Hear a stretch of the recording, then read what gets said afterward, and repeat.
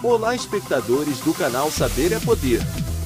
Hoje, vamos explorar o maior vulcão do Sistema Solar. Olympus Mons, localizado na região geológica de Tarsis Montes no hemisfério ocidental de Marte, pode ter tido uma origem fascinante como uma gigantesca ilha vulcânica em um antigo oceano. A pesquisa em questão destaca as semelhanças morfológicas entre Olympus Mons e ilhas vulcânicas ativas na Terra, sugerindo que a borda superior da escarpa principal concêntrica ao redor do vulcão, com 6 km de altura, possa ter sido formada por lava fluindo para a água líquida.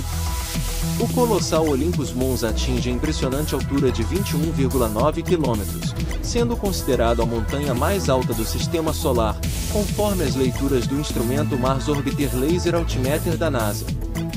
O estudo propõe que a formação dessa estrutura como uma ilha vulcânica ativa ocorreu durante o final do Noaxi e início do Esperiano, há aproximadamente 3,7 bilhões de anos.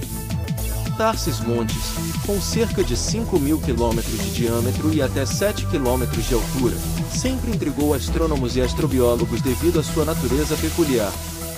Classificada como um hotspot, termo utilizado na Terra para descrever áreas com atividade vulcânica significativa e contínua, a região possui linhas costeiras vulcânicas que, de acordo com o estudo, podem ser testemunhas do antigo nível do mar em Marte. A pesquisa destaca a negligência de estudos anteriores em considerar a correlação entre as linhas costeiras vulcânicas e os níveis do mar passados em Marte. Essas características costeiras podem fornecer evidências do passado oceânico do planeta vermelho, oferecendo uma oportunidade única para direcionar a busca por vestígios do início da vida. A determinação precisa da localização e cronologia dos antigos oceanos de Marte pode ser crucial para a compreensão dos modelos climáticos do planeta. A pesquisa sugere que isso pode fornecer informações sobre a quantidade inicial de água líquida e a estabilidade da atmosfera, até o momento em que os gases dissolvidos no magma foram liberados na atmosfera pelo vulcão.